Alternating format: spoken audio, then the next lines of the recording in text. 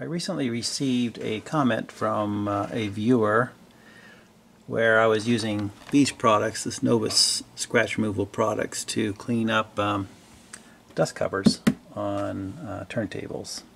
And it works pretty well as long as they're fairly lightly scratched.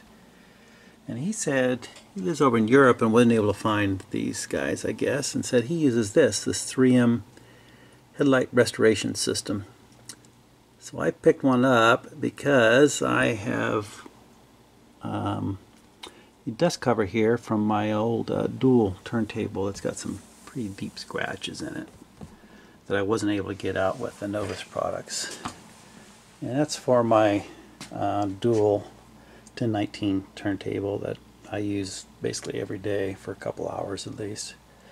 So, I mean, normally I don't even put the dust cover on just because I'm using it so much, but figured I might try to clean it up. I've never used this before, um, but this is my turntable and it was given to me for free, so if it messes it up, it's it'll still work as a dust cover. But I wanted to try it just to see if it will get those deep scratches out. Maybe use it for other other people's uh, more scratched up um, dust covers. So I think I'll give it a try. Alright, I read the directions here on this product, this 3M headlight system, cleaning system.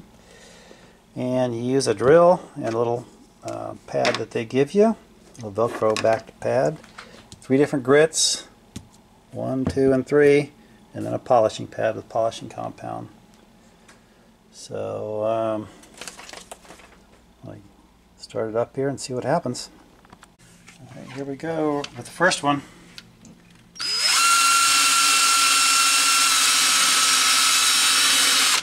Ooh, it's a little scary.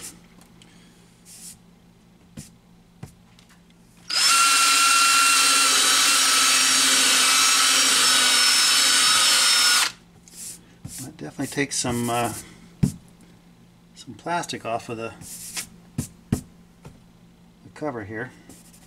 I'm going to go through the whole thing and see if I can get those deep scratches out and then we'll move on to step two. I think I got all the big deep scratches out here. Try cleaning this off with a wet cloth here and take a look at it.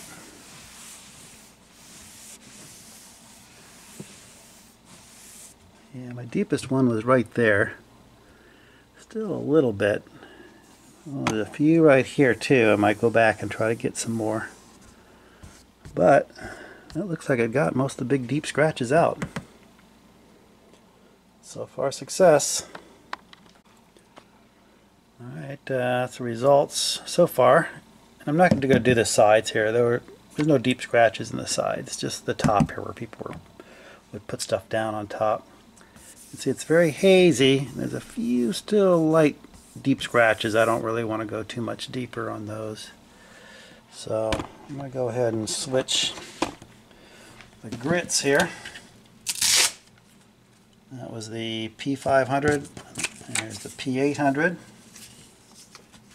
I guess uh, it's going to take some of the scratches out and uh, start polishing. Let's see how it works.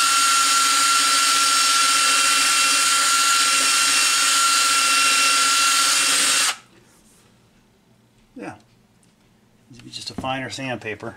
So I'll do the whole thing and see what it looks like after that. Alright, that's step two. Let's see how it looks. Get all the dust off of it here.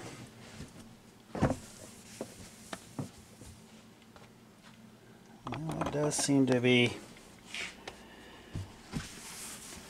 it's still hazy of course, but that's you know got the uh, deeper scratches out that well the um, bite scratching that this one did I moved on to that and it seems to be getting a little clearer and looking a lot better.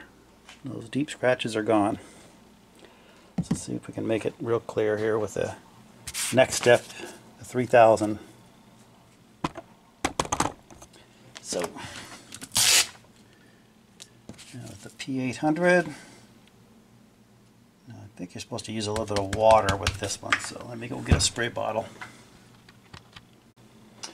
I couldn't find a spray bottle, so I just used the uh, bottle of water here that I usually use to fill up my uh, soldering station um, thing. So I just kind of coated this with some water. Got the number three pad on. What happens?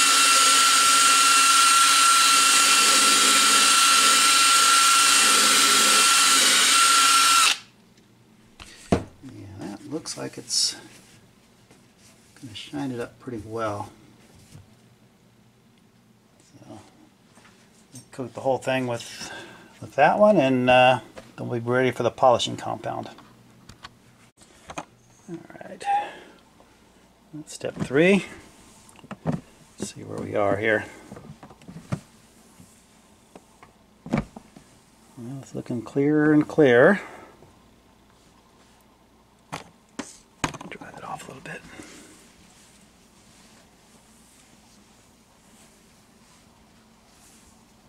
Yeah, that's looking that's looking pretty good. All right, on to the uh, polishing compound step.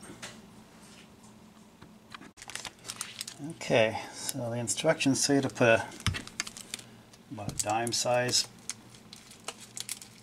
chunk of this polishing compound on the pad. Do all like that.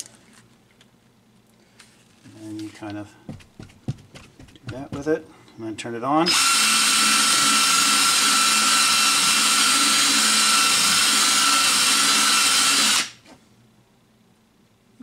It's working. So I'll do the whole area with this and uh, bring you back and show you what it looks like. Alright. Let's see what we got. Is supposed to be the final step. And boy, that's looking pretty darn good.